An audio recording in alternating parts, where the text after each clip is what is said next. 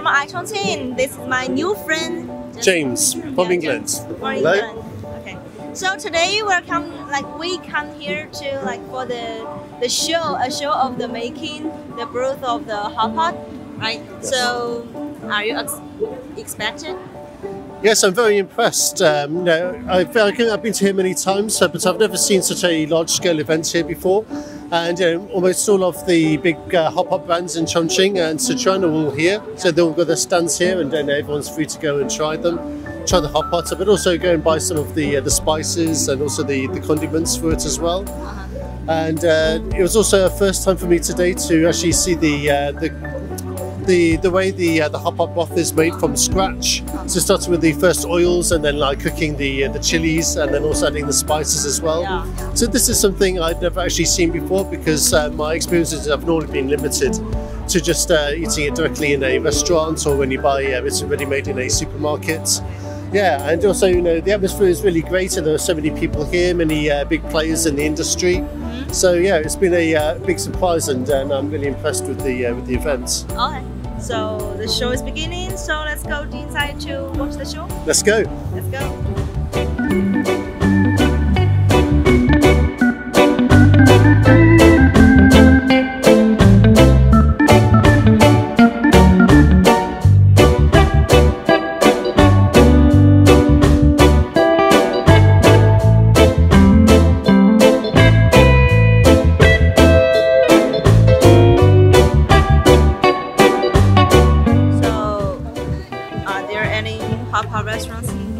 Um, there never used to be. At least you know when I was very young, growing up in England, I never I never knew Chongqing hot pot or Sichuan hot pots. But I think times have changed because you know um, in the last 10, 15 years there are many more you know, mainland you know Chinese living in England. Also, many more students. And so that's also created a market for you know, people to move to England and open hot pot uh, restaurants. And actually, even in my hometown in Leicester, yeah, there, there are now a few um, hot pot restaurants you can go to. I think before the first one I ever heard of was uh, down in London, but uh, things have changed now. So even out in the smaller cities, like where I am from, you can find Chongqing hot pot now. I think most of the clientele are Chinese students, but uh, I think also the our local people, our local English people, also uh, gaining a taste for hot pot as well.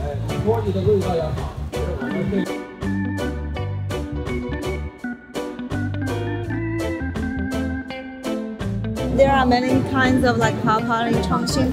Sure. Not only hot pot, like fish pot, beef pot. Yeah, the duck. Although, although that's not spicy, yeah, the like a tam.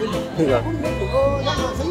But, so, yeah, but I love all of them, and uh, you know, of course, every hot pot restaurant, every brand has a, maybe a slightly different flavour. Yeah, yeah, yeah. So you know, all of these ingredients, you kind of kind of mix them, change the quantities. You can add some, you know, add something else if they like. I've had hot pots at home, the homemade version, but uh, normally you just buy it pre-packaged. Yeah, Yeah, all, of the, all of the ingredients Yeah. is ready for you. So basically, all you have to do is uh, cook it in the wok yourself with a bit of oil.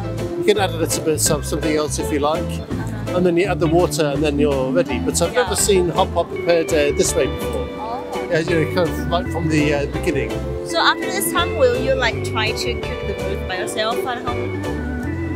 Um, you know, I. I'm not I'm not that great a cook, so I've got a feeling if I try myself, maybe um, I might ruin the ingredients, uh, or it might not taste very good. Uh-huh. But I suppose if I have uh, somebody who uh, knows how to do it, know, like our uh, chef just now, yeah, maybe if I have somebody to teach me, then I, I would uh, be very willing to give it a try. Yeah.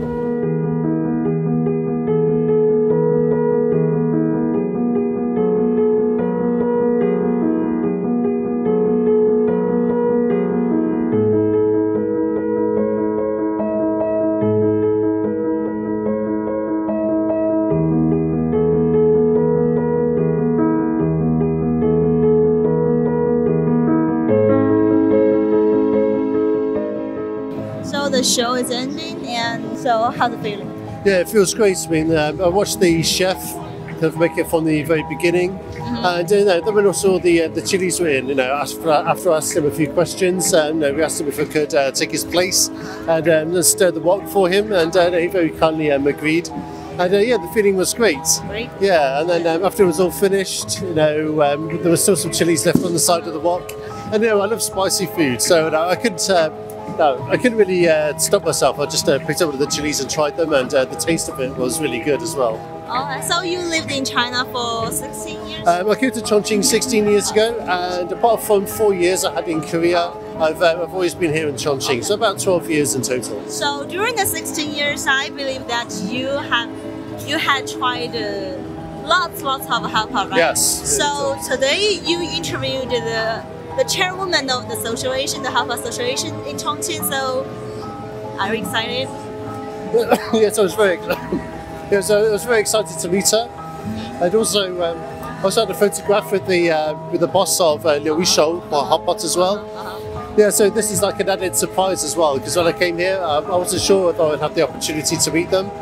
But you know, like um, people in Chongqing in general, they're, they're very, uh, very open, very kind, very uh, warm-hearted. So um, I was very pleased that they were so happy to uh, to uh, speak to me and take some photographs together. Oh, okay.